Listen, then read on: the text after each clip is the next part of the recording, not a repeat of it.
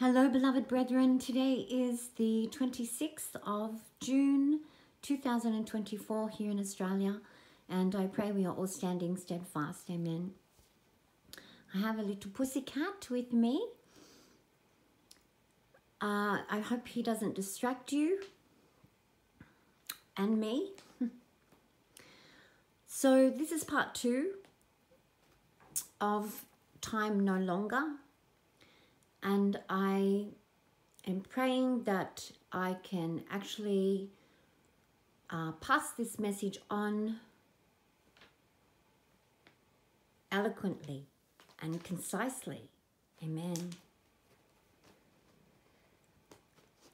So we're going to see uh, where the Father highlights the number uh, 36 uh, we'll go to Revelation 7, and we know that this is the um, 144,000. So we'll just read it quickly. Uh, verse 2 And I saw another angel ascending from the east, having the seal of the living God. And he cried with a loud voice to the four angels to whom it was given to hurt the earth and the sea, saying, Hurt not the earth, neither the sea nor the trees, till we have sealed the servants of our God in their foreheads. And I heard the number of them that was sealed, and there were sealed 144,000 of all the tribes of the children of Israel. Of the tribe of Judah were sealed 12,000. Of the tribe of Reuben were sealed 12,000 of the tribe of Gad was sealed 12,000. So that is, th stop that. That, that is 36,000 in one verse. And in the next verse, it's 36,000. In the next verse, 36,000. And the fourth verse, 36,000. So our Father blocks them into uh, three groups of 12 over four verses. Now, obviously, that is very significant because four is our Lord Jesus Christ. He, he walks in the midst of the seven golden candlesticks. He is the fourth servant candle who feeds the other six. And our Father, you know, um, puts them into groups of 12,000. So he's really emphasizing 36,000. So that is one way that our Father really highlights the three gatherings that are in and through his Son, our Lord Jesus Christ. Um,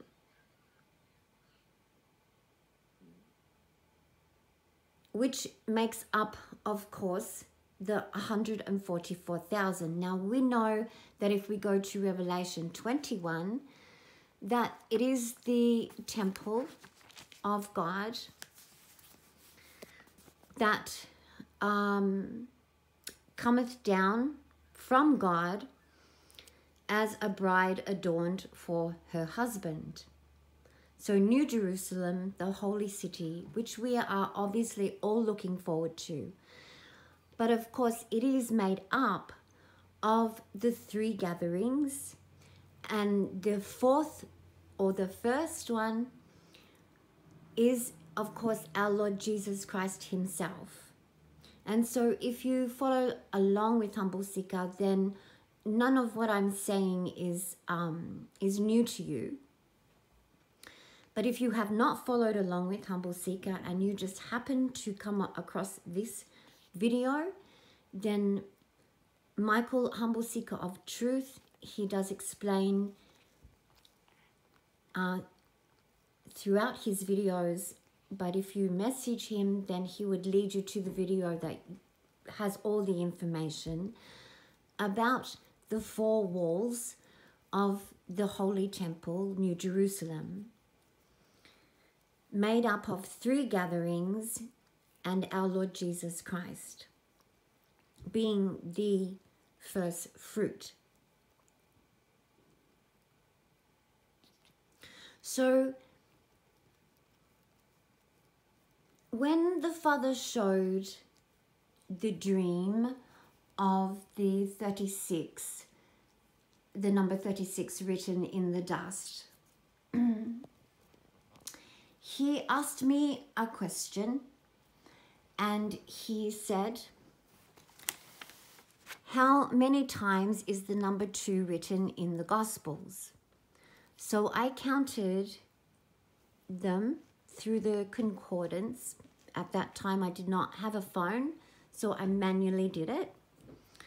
And I triple, quadruple checked. Uh, so Matthew is 36, Mark is 18, Luke is 28, John is 14 times. So the number two is written that many times. So we can see easily that that is divided uh, in two or divided by two. So this is what our Father was showing me. Unbeknownst to me, I had not come across Humble Seeker at that stage, so I did not know what had been shown to Michael.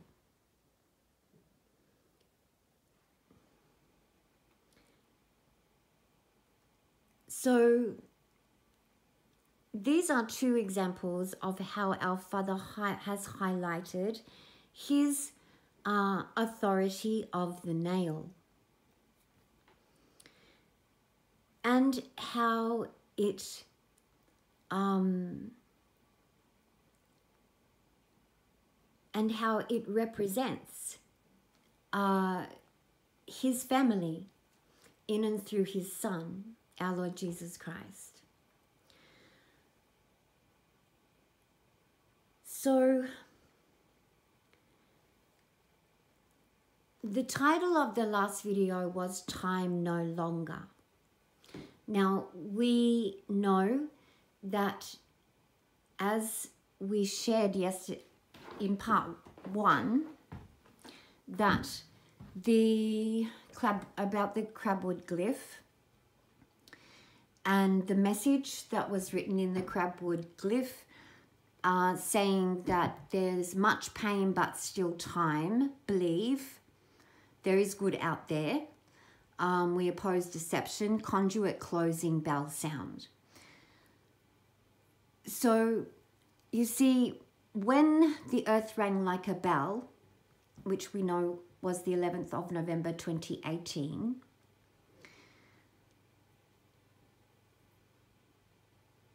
there was still time. Now our Father is, now that He has revealed this, our Father is saying that there is time no longer. Now, what does that mean exactly? Now, I want you to just keep in mind that we, the measure of the temple, the, the measuring, which basically is what?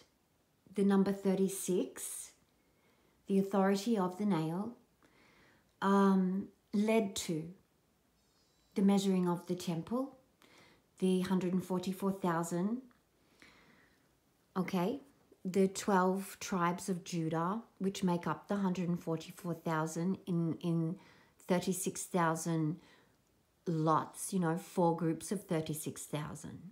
Okay? So if you keep all that in mind, it is the measuring of the temple of God.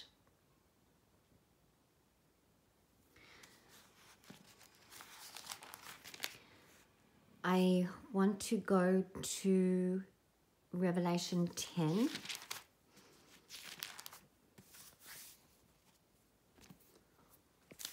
Beg your pardon, I was almost there. All right, and I saw another mighty angel come down from heaven, clothed with a cloud, and a rainbow was upon his head. And his face was as it were the sun, and his feet as pillars of fire. Now, once again, if you have followed along with Humble Seeker, then the rainbow is an arc, and our Father depicts us as archangels.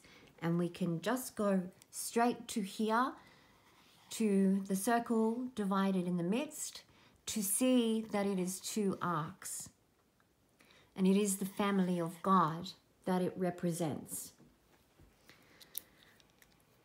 You know, you can go to the Ark of the Covenant. Um,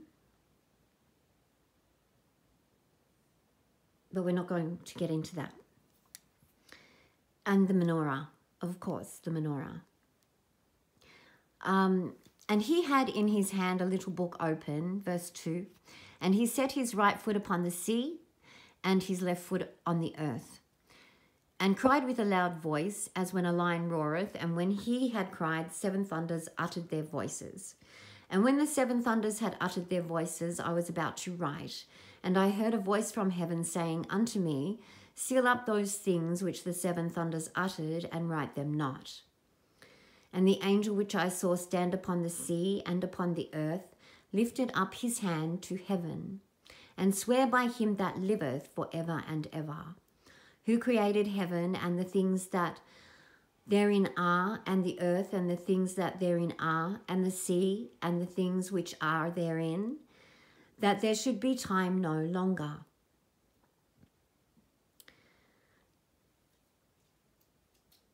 Now, the seven thunders, Michael has discussed that in the past, but I have a small portion to add.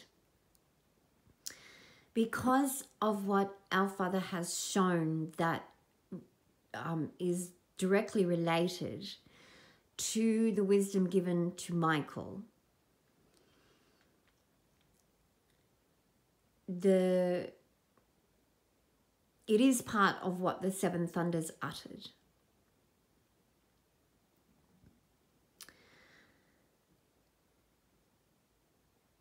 Now, the angel, the archangel here, is saying that there's time no longer. And I am saying that there's time no longer because the Father is saying that. So, why? Why? Because the servants in Revelation 7, the servants of God have been sealed. And so our Father is showing to me that that is why there is time no longer because it is done. The servants of God have been sealed in their foreheads.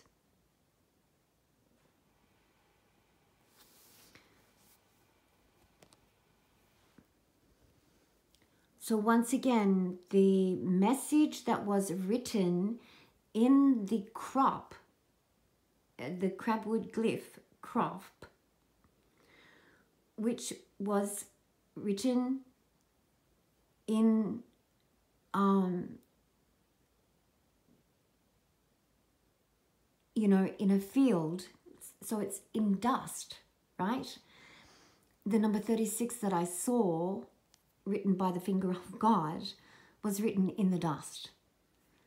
And if you, you know, want to sort of see that, I mean, dust also represents um, the flesh. You know, man goes to, you know, dust. Anyhow, um,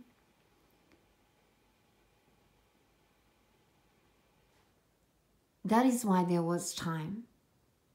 But there is not time now. Because the servants have been sealed. You see, so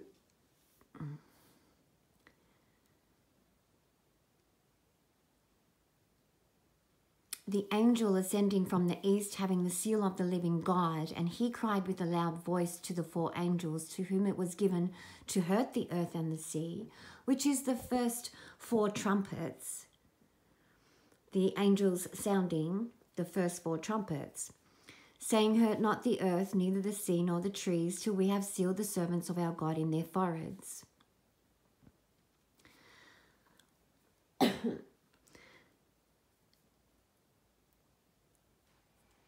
so that has been done. And it is you know I, none of us know when our lord jesus is going to appear. We don't know the day nor the hour um, but what is being shown by the father is that there is time no longer now when we go to revelation 10. Um, before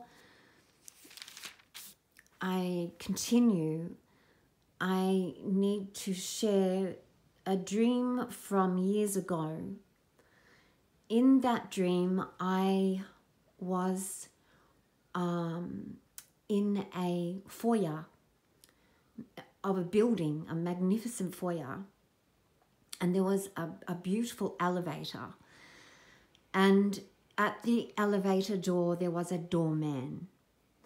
And I walked over to the doorman, and he took out of his pocket a little white um, card, like a business card. And it had gold, beautiful gold writing and I was told to eat it. And the, the doorman handed it to, like, towards my face, and it came out uh, of his hand, and in midair, the little card scrolled up into a little scroll. And I was told to eat it and I opened my mouth and it went into my mouth and I ate it. And then I went up the elevator into, you know, the clouds and I arrived at this magnificent room full of round tables and people at these tables all all drinking champagne, and there was listening to the speaker speaking. All eyes were transfixed towards the voice that I heard.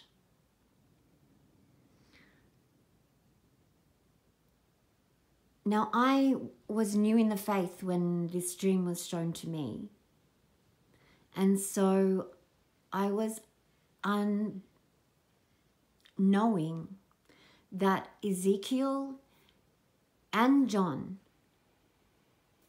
were both told to eat a little book or a little scroll. And both were to prophesy.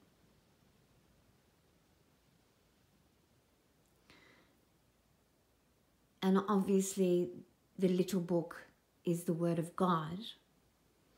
Hence, in our mouth, it tastes like honey for sweetness, and yet it can make our belly bitter with all the severity and the, the sorrow that can come with the understanding of the Word of God.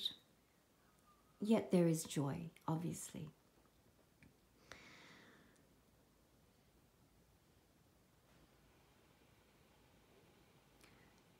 So Ezekiel and John were both told to eat the little book, the little scroll. And this is what was given to me.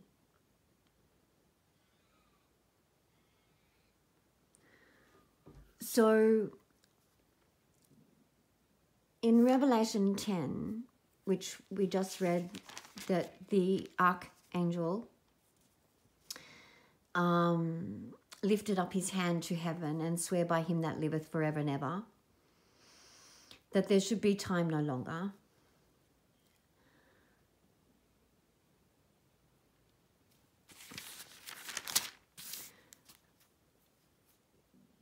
He had a little book in his hand. Sorry. Uh, and he had in his hand, verse 2, a little book open, and he set his right foot upon the sea and his left foot on the earth.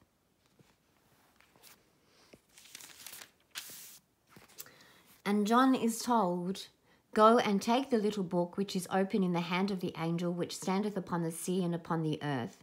And I went unto the angel and said unto him, Give me the little book. And he said unto me, Take it and eat it up and it shall make thy belly bitter, but it shall be in thy mouth sweet as honey. And I took the little book out of the angel's hand and ate it up, and it was in my mouth sweet as honey. And as soon as I had eaten it, my belly was bitter. And he said unto me, Thou must prophesy again before many peoples and nations and tongues and kings. Verse uh, Revelation 11. And there was given me a reed like unto a rod, and the angel stood, saying, Rise and measure the temple of God, and the altar, and them that worship therein.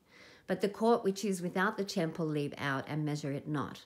For it is given unto the Gentiles, and the holy cities shall they tread under foot forty and two months. So we know that that is Jacob's trouble, 42 months. And John has been given a reed like unto a rod to measure the temple. And once again, the information that I am sharing today is the measuring of the temple. And it is a measuring. Uh, let's go to Revelations 21. And he measured the wall thereof, uh, um, 17, verse 17.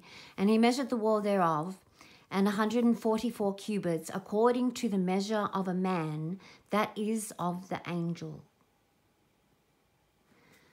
According to the measure of a man.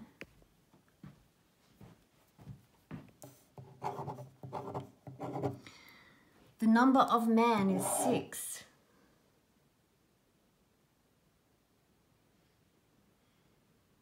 it is three vavs, and the vav being the nail in the Hebrew.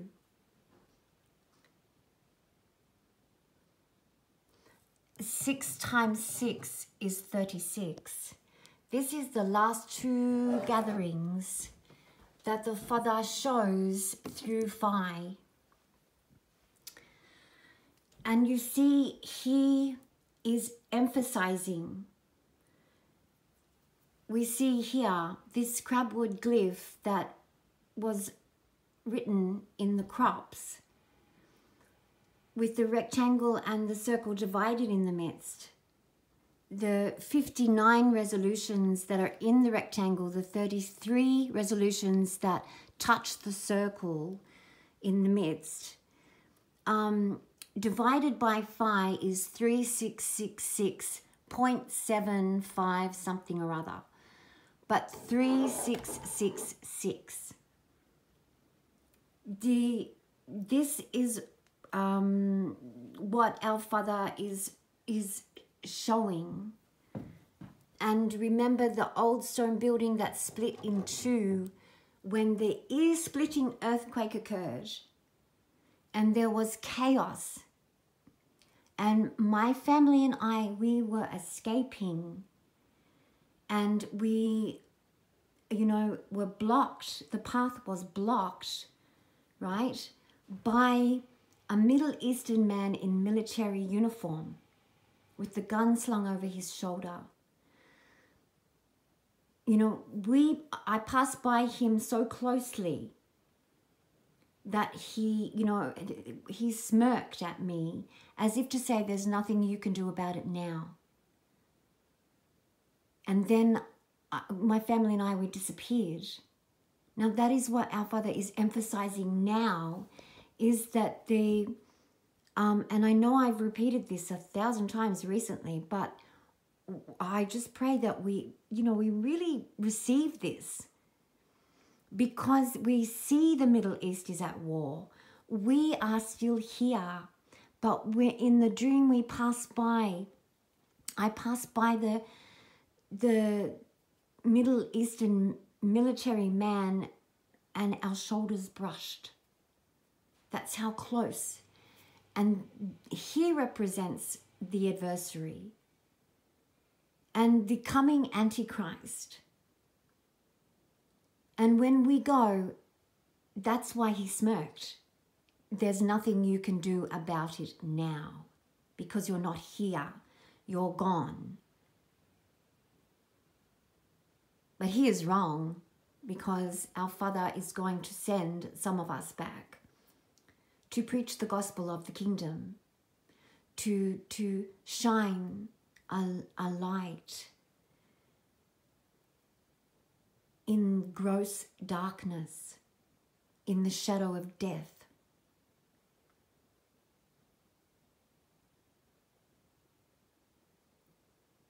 So,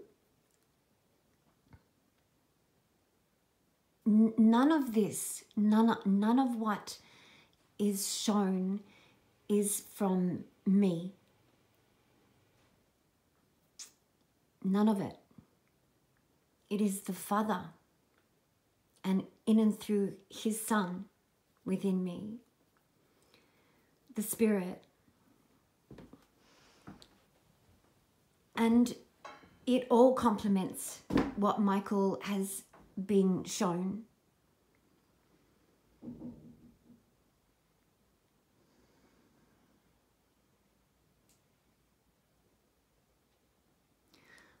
I pray that we see, and I know that it can be confusing.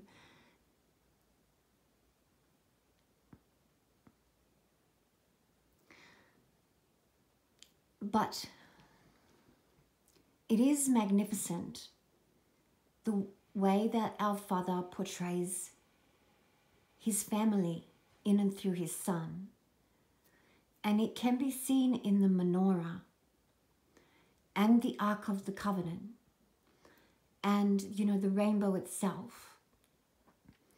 It can be seen in the tree of life.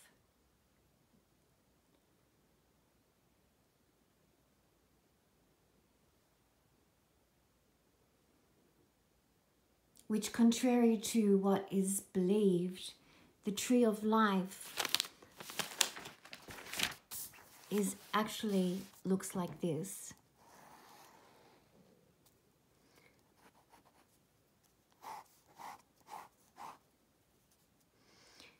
And it has magnificent flowers on it as cups that sit up. And the father said to me, Turn it upside down, and you have a menorah. And that is how the Father first and foremost showed me the, the circle divided in the midst. And in the dream where I saw the tree of life, I was walking with Jesus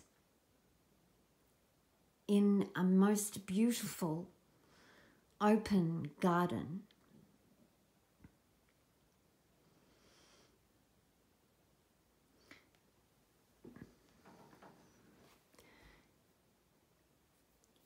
These are things that the seven thunders uttered,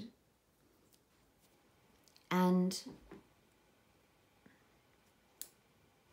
I'm sure that's why the father showed the dream of the the role the little scroll that I was to eat.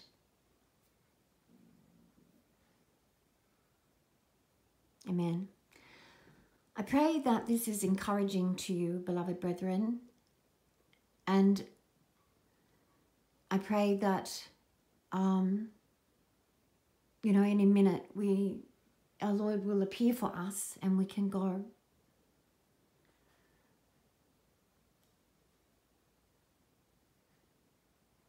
I love you all, beloved brethren. Stand fast. Our Lord is coming. Amen. God bless us, Father, in the name of our Lord Jesus Christ. Amen.